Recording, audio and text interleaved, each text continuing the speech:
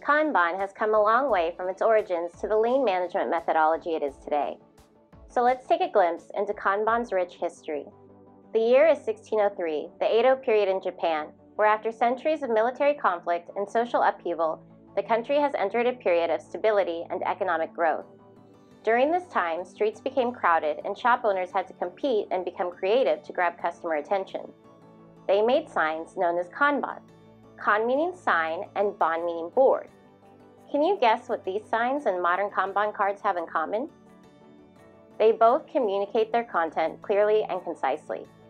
Now let's fast forward to the 1940s and take a look at the Toyota Motor Company. At this time, Toyota was not doing well. They were making a loss and couldn't compete with American manufacturers.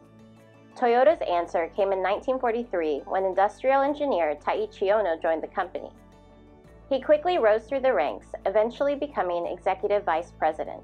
While trying to solve Toyota's problems, he identified and categorized seven kinds of waste known as muda. We'll go into more detail about muda in a future video. After identifying waste in the company, there was still a problem. With changing customer demand and overproduction, how would they know what to produce and when? Taiichi found his answer during a trip to the US where he was inspired by supermarket chain Piggly Wiggly's ability to keep just the right amount of stock. This led him to create a new system he called Kanban, where paper cards were used to signal and track demands in his factory.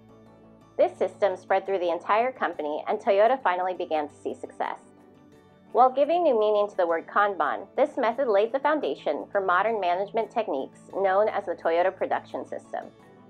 Now let's fast forward again, this time to the early 2000s. The success of the Toyota Production System led project managers from different industries to attempt the application of its core principles.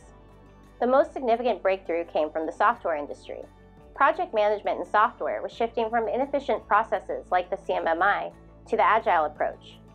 Formalized in the Agile Manifesto of 2001, its principles offered general advice but didn't specify how they should be achieved.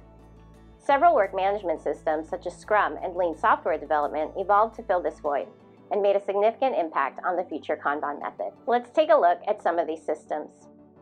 With Scrum, some teams began using pin boards with user story cards. A member walks up to the board, takes a card, and returns a struck out card when the task is completed. This primitive board system gives some visibility into the progress, allowed for work synchronization, and improved workflow between multiple team members. The lean software development method, which was influenced by the Toyota production system, introduced concepts such as eliminating waste, mapping the value stream, and pull systems to the software development world. Also, around that time, David Anderson began exploring concepts such as flow, bottleneck, visual control, and cumulative flow diagram.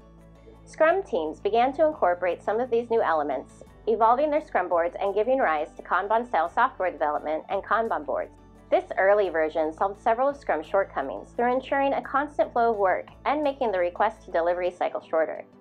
Kanban's highly structured, visible, and flexible way of managing work was further perfected by teams at Microsoft and Corbis, and pioneers such as David Anderson and Karl Scotland.